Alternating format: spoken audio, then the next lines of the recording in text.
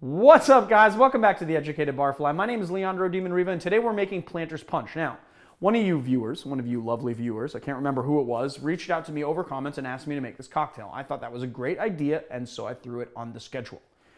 That being said, there are a lot of different uh, recipes for this cocktail. It dates all the way back to the mid 1700s.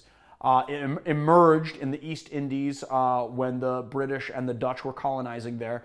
And there are lots and lots and lots of different recipes for this. It could even be its own series. It actually may be its own series. Um, I decided to make one that originated at the Hotel Titchfield in Jamaica in 1928 or around 1928.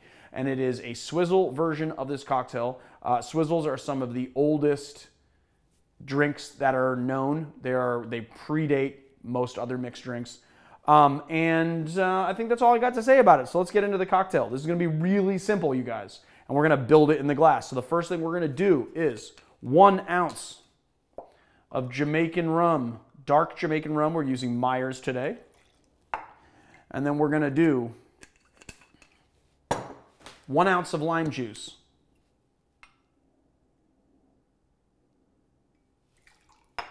And then we're going to do one ounce of simple syrup. I'm doing a one to one simple syrup. If you want it to be sweeter, you can use a two to one richer simple syrup if you like. And then we're just going to add our crushed ice.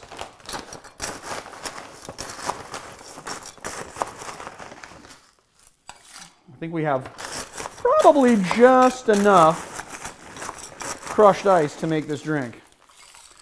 So we're going to add our crushed ice, and then we're going to work our swizzle stick down into the drink, and we are going to, there are kind of some big pieces of ice there, but basically we are going to swizzle it. And what you want to do is sort of work the swizzle stick up and down in the cocktail as you swizzle it to basically properly chill the drink.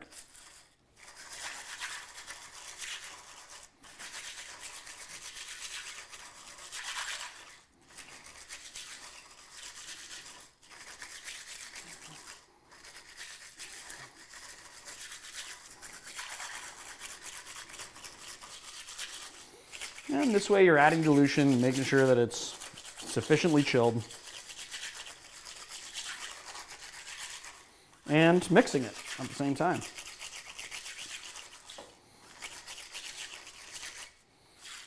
There we have it. Then what we do is we just add,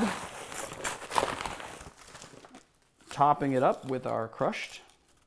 I mean, this used to be pebble ice, but I had to take a, uh, a nice mallet to it. Now it's a little bit more crushed ice and make like a nice top on it.